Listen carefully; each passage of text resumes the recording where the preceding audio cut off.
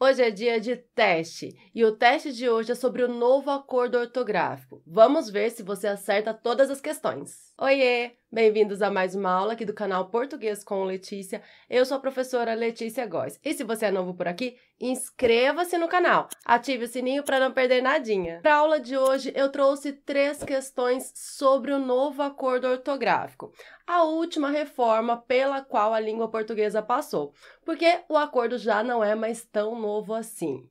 A última reforma está em vigor desde 2009, mas muitas pessoas ainda não se acostumaram com a grafia de algumas palavras. Para nós, brasileiros, pouquíssimas palavras sofreram alteração, cerca de 0,5%. As mudanças ocorreram principalmente em relação à acentuação e ao hífen. Vamos ver se você assimilou bem as alterações. Primeira questão do nosso teste de hoje. Cada questão traz aqui duas palavras. Então vamos lá. A frase é a seguinte: O herói não precisa de um ato heróico todos os dias. E aí, como se escreve herói e como se escreve heróico?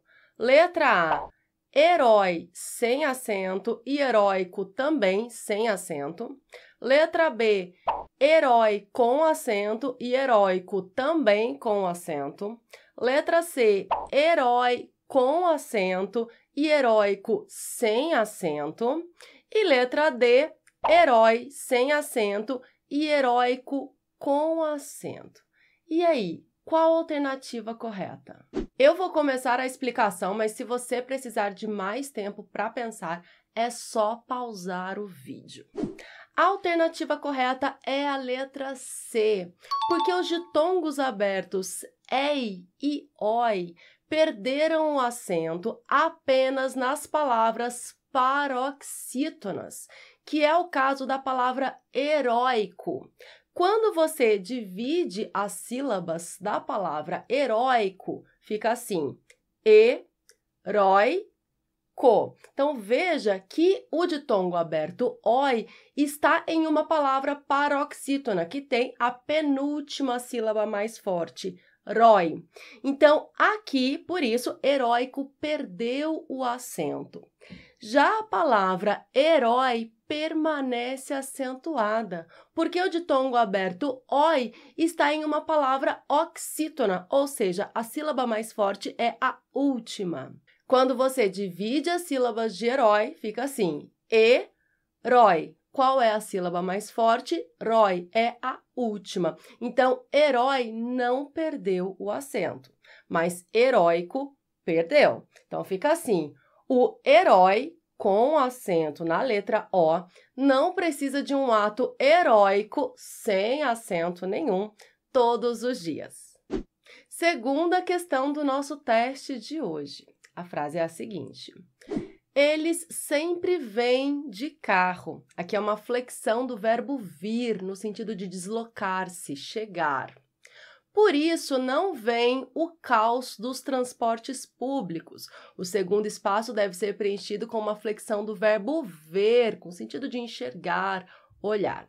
E aí, como se escrevem essas flexões? Letra A. Vem um E sem acento. E vem dois Es, também sem acento. Letra B, vem um E com acento circunflexo. E vem dois Es com acento circunflexo também, no primeiro E. Letra C, vem um E e acento circunflexo. É, e vem dois Es sem acento. E por fim, letra D, vem um E sem acento e vem dois Es com acento circunflexo, com acento circunflexo. Lembrando que o primeiro espaço é o verbo, é uma flexão do verbo vir e o segundo espaço é uma flexão do verbo ver. Vamos às explicações. Não se usa mais o acento circunflexo das palavras terminadas em e, e, M. São as flexões dos verbos ler, ver, dar e crer. Então, quando nós temos aí dois Es e o M, nós não colocamos mais o acento circunflexo. mas permaneceu o acento circunflexo da terceira pessoa do plural do presente do indicativo dos verbos vir e ter. Então, aqui nós temos eles sempre vêm. Então, aqui é a terceira pessoa do plural, veja aí, eles, do presente do indicativo do verbo vir. Portanto, essa flexão verbal permanece acentuada. Eles sempre vêm de carro. Um E só e acento circunflexo. Então, ele vem, singular sem acento, eles vêm, plural, com acento circunflexo, no sentido de eles se deslocam, eles chegam, ok? Segunda parte da frase. Por isso, não vem aqui a flexão do verbo ver. Aqui perdeu o acento circunflexo, mas se escreve com dois es. Por isso, não vem o caos dos transportes públicos. Então, a alternativa correta é a letra C. Primeiro vem com um E e acento circunflexo, terceira pessoa do plural, do verbo vir. E o segundo vem sem acento circunflexo, dois es, é também a terceira pessoa do plural do presente do indicativo, só que do verbo ver. Sabe como eu fiz a associação de pensar assim que o verbo ver, essa flexão do verbo ver, tem dois es? Uma coisa boba, mas que pode servir para você se lembrar. A gente enxerga, a gente vê com dois olhos. Então, essa flexão, o verbo ver, a gente pronuncia da mesma forma que essa flexão do verbo vir, né? Eles sempre vêm de carro, mas o verbo vir, um é só. Por isso, não vem com os dois olhos, então, dois es, o caos dos transportes públicos. Alternativa correta, letra C. A terceira e última questão do nosso teste de hoje é sobre hífen. E a frase diz assim: Preciso ir à farmácia para comprar o meu anti-rugas e um anti-inflamatório. E aí, como se escrevem as palavras anti-rugas e anti-inflamatório? Letra A: anti-hífen rugas e anti-hífen inflamatório. Letra B: anti-rugas com um R só e anti-inflamatório com um I só, as duas palavras tudo junto, sem hífen. Letra C, anti-rugas, dois R's, tudo junto. E anti-inflamatório, dois Is, tudo junto também. E por fim, letra D, anti-rugas, dois R's, tudo junto.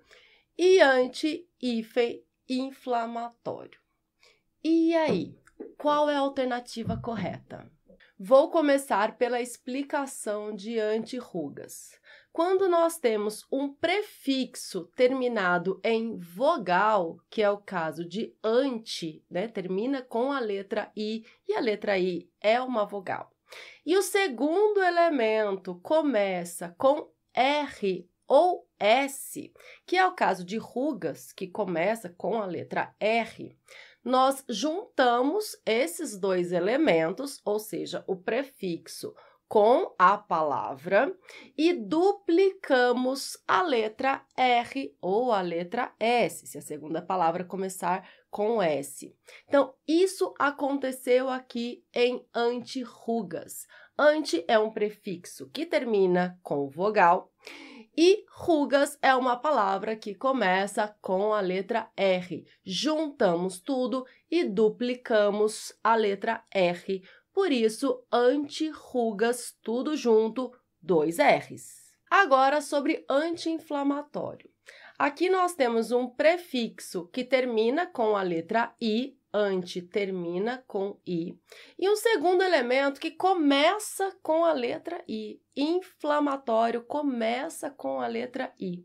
Então, eu preciso usar o hífen para separar essas duas letras iguais. Então, anti, hífen, inflamatório. Então, sempre que eu tiver duas vogais iguais, eu vou separar com hífen. Há exceções. Com os prefixos co e re, eu junto tudo sem hífen, como é o caso de reeleição. Então, re é um prefixo que termina com a letra E e eleição começa com a letra E, mas mesmo assim eu junto tudo e fica ali os dois Es. E também com o prefixo co, como coordenação, também não tem hífen, eu coloco os dois Os juntinhos. Mas, se não for os prefixos é, re e co, eu devo usar o hífen para separar essas duas vogais iguais. A alternativa correta é, portanto, a letra D. Preciso ir à farmácia para comprar o meu anti-rugas, tudo junto, dois R's, e um anti-inflamatório, anti-hífen inflamatório. E aí, quantas questões do nosso teste você acertou hoje? Se você não está inscrito no canal, mas gosta muito dos nossos testes, inscreva-se agora mesmo para não perder nadinha. Aproveite e deixe o gostei neste vídeo. Isso nos ajuda muito a continuar produzindo conteúdo de qualidade e gratuito aqui para todo mundo. Um grande abraço, até a próxima. Tchau, tchau.